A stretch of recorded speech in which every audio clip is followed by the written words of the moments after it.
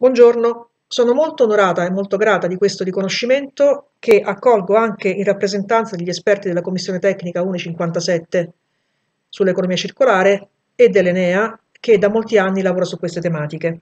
L'economia circolare è un tema di grande attualità, è un tema centrale, costituisce un cambiamento d'approccio e di paradigma necessario per la transizione ecologica nell'ambito di un quadro di sviluppo sostenibile.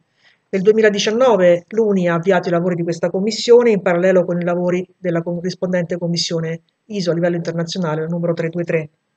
La normazione tecnica può rivestire un ruolo centrale per accompagnare questa fase di transizione attraverso lo sviluppo e l'adozione delle norme tecniche dedicate.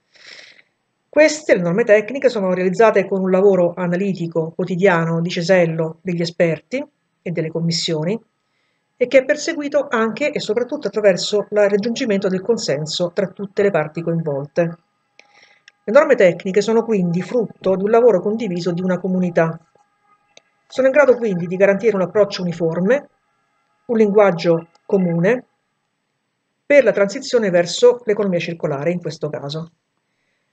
L'impegno profuso da tutti gli esperti in, queste, in questo lavoro è un impegno importante che se da un lato diciamo, richiede una eh, grande dedizione, dall'altro eh, costituisce un, un'occasione di arricchimento umano e professionale. Grazie per questa opportunità.